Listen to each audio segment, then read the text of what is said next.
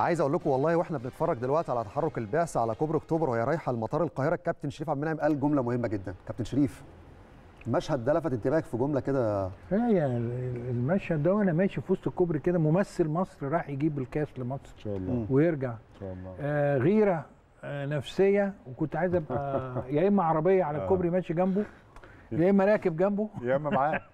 يا إما بسخن جوه يعني.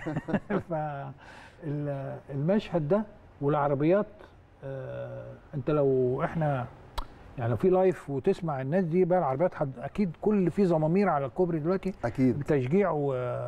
والناس بتندى عليهم و... ف حالة آه، أنا متفائل والله يعني آه، جسمي مشهد مشهد بيخليك تسخن من دلوقتي و- الماتش بكرة جسمي مشعر وتمنياتي و... وبقرا لهم وبتمنى لهم وانتوا رجاله وباذن الله هتشرفونا. وهو ده النادي الاهلي الحقيقة يا محمد.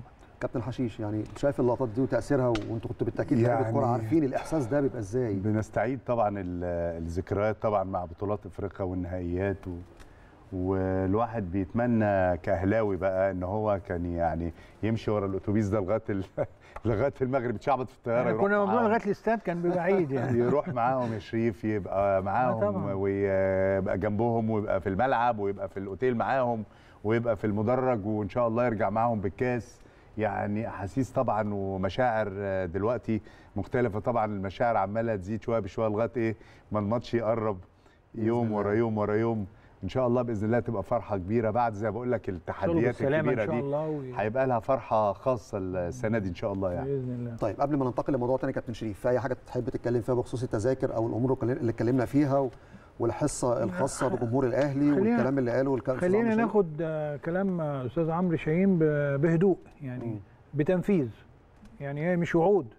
ده شيء واقع دلوقتي إن أي حد حي... هيسافر خلينا نشجع الناس كلهم إن مكانك موجود. قدر النادي الأهلي إنه يحفظ لك مكانك ووجودك.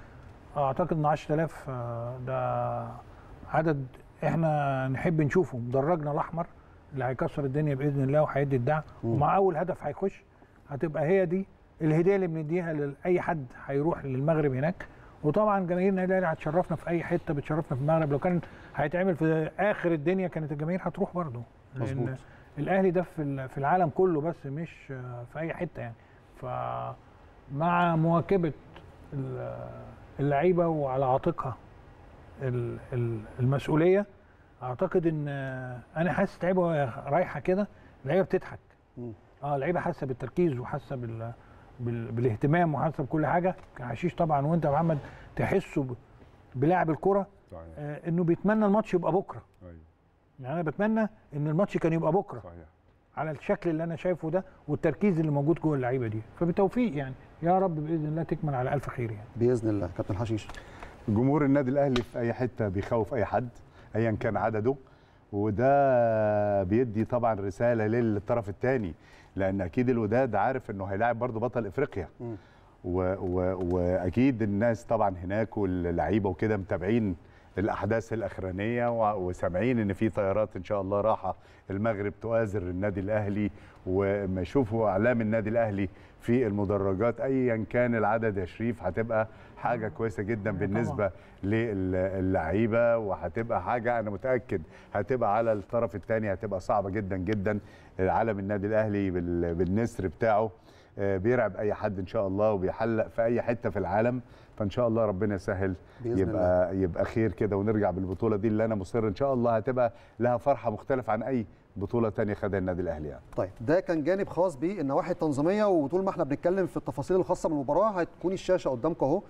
كل الكواليس وكل اللقطات الخاصة بتحرك البعثة لمطار القاهرة آه، إنهاء الإجراءات الإدارية داخل مطار القاهرة في صالة السفر آه، الإقلاع بالطائرة والرحلة الخاصة إلى كازابلانكا. كل اللقطات دي مش هتشوفوها في أي حتة إلا عبر شاشة قناة الاهلي